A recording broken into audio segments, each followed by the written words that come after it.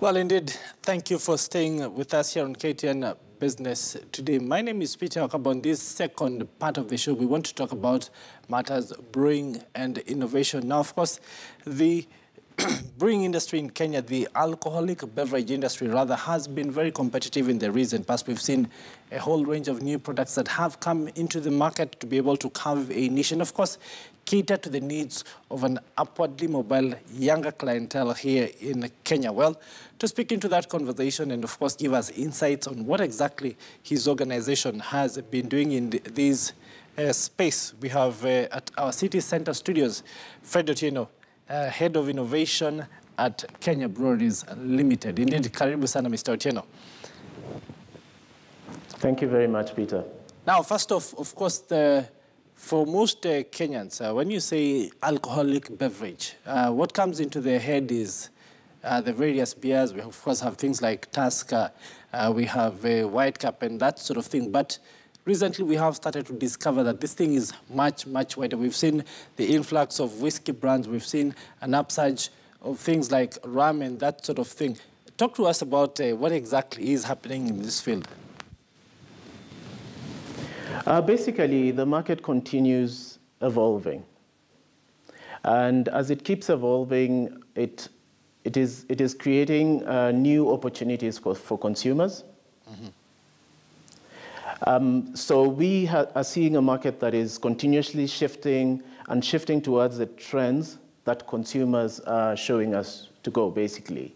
Yes. So you'll see that there's been a very accelerated rate of uh, innovation in the recent past. Mm-hmm both within beer and also within spirits. Mm. Um, Mr. Otieno, I'd urge you to look straight into the camera so we can uh, continue to speak. Now, for most uh, young Kenyans, uh, the fact of the matter is Thank that you. they grew up with a lot of uh, uh, of the older generation uh, consuming one end of that spectrum, mostly the beers and that sort of thing. but the tastes have changed, palates have changed, businesses are now uh, changing too much, as you're saying. What exactly are you doing as an organization to be able to, well, be in this space? So we continuously get feedback from our consumers and are always doing research uh, in terms of trends and what consumer profiles that are changing. And in that space, then, we're able to see what are the things that consumers desire into their repertoires right now. So we are able to capture the changes in tastes and preferences, as well as the new things that consumers are seeing that are shaping their aspirations based on what's happening in other parts of the world. So our young consumer nowadays is able to get their influences shaped not only by what's happening within the local market, but also other markets globally. So then on that note, maybe you can speak into what exactly has your research said about the Kenyan market and where exactly it is going, especially in view of the fact that uh, we've seen a real diversification of, uh, well, choices for people and it's a sort of a democratization of the sector. Yes. So we have seen consumers desiring uh, differentiated uh, beer tastes. So you'll see um, a continued growth in the beer segment that looks at new flavors and new tastes um, into their current beer offering. A bit in terms of the upper end, also uh, a growth in what we call craft, uh, which is specialty beers that are created with a lot of passion by uh, you know very uh, uh, experienced people. Uh, secondly, you'll also see a shift in terms of spirits with flavors. So we've seen the market exploding with new flavors, um, some of which are from our stable. Um, and we are always expanding uh, the portfolio to make sure that then it caters for all sorts of consumer profiles, both in the upper end and also towards the lower end as well. In uh, also uh, the fact that uh, there has been, uh, well, a, a, trend, so to say, especially among the younger and upwardly mobile aspirational consumers, as you say, to start to try more exotic uh, drinks, uh, things like, uh, well, the rums that we've seen in the market. Talk to us about uh, why this is happening now, and of course, what the choices have been. So we've, we've recently launched uh, Captain Morgan Gold, mm -hmm. and it's, it's one of those brands that is a global brand and people are aware of it. Yes. However, it has always been a little bit inaccessible from a pricing perspective. Mm -hmm. And what we've done is made sure that we bring it in and use our local expertise to produce it locally. Mm -hmm. uh, to allow the consumer, especially the young adult consumer, to afford it at the right price. Yes. So this is a case where we've looked at a global brand that has global credentials and a world-class liquid delivered in the right way and at appropriate price point for our consumer today. So it's basically being able to leverage our strength of the business globally and using our local expertise to deliver that which is right for the Kenyan consumer. Mm -hmm.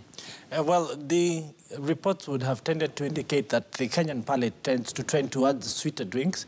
Uh, if you were to do a poll of uh, 10 ladies and ask them, what would you like to drink? They say red, sweet wine. So even with these other brands, I think we're tending to start to see, well, a travel, a movement of the brands towards uh, sweetness. Is that the case in this sector as well? So I would say there's a dynamism in terms of taste profiles, yes. I would say there's growth in terms of sweeter palate. Mm -hmm. And tr truly, uh, younger adults are probably grown up in environments that have more sweeter liquids or sweeter foods uh, being offered to them. And that actually affects the way their palate uh, perceives uh, things.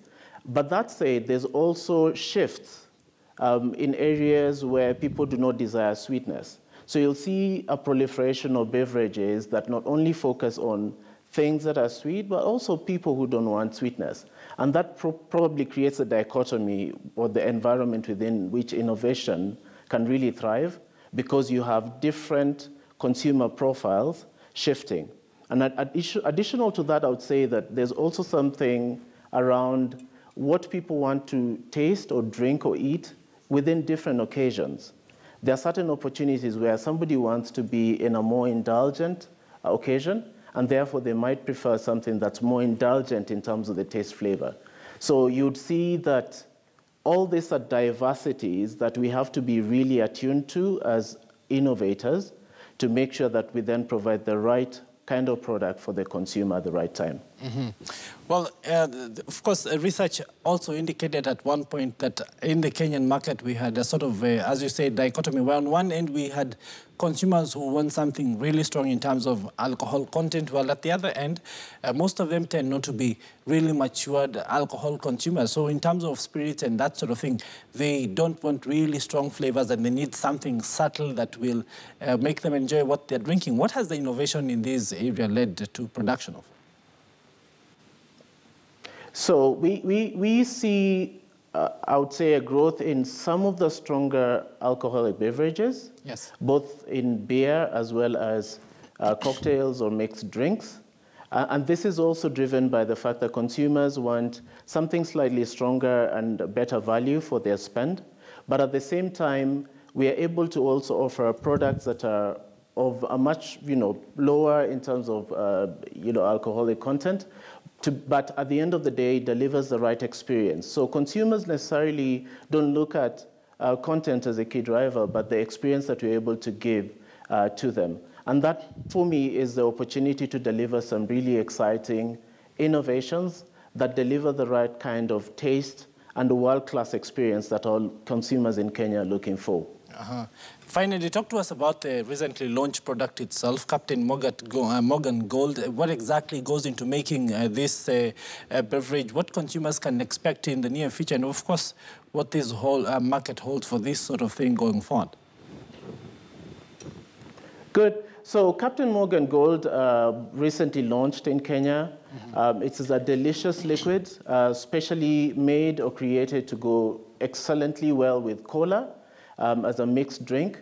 And it is based out of a brand, Captain Morgan, which is renowned globally for being a fun brand and exciting brand for, for consumers. So it's targeted towards millennials. It has the right taste profile in terms of liquid.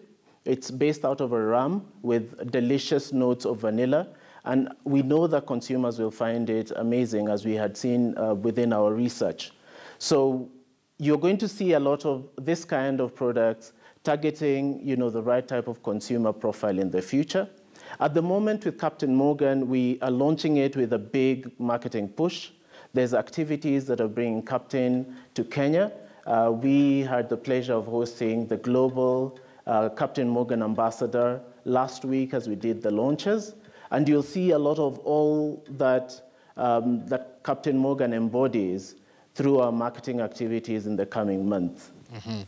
Indeed. Uh, thank you very much, uh, sir, for taking the time to talk with us. Of course, is uh, Fred Otieno. He is the head of innovation at Kenya Breweries Limited. Of course, one of the larger uh, companies in the region when it comes to al alcoholic beverages and, of course, market leader in that segment. And, well, talking to us about a recently launched beverage and what exactly the company is doing in terms of innovation so that they can continue to cater for uh, local and indeed coming uh, consumption that continues to come into the market. Again, thank you very much.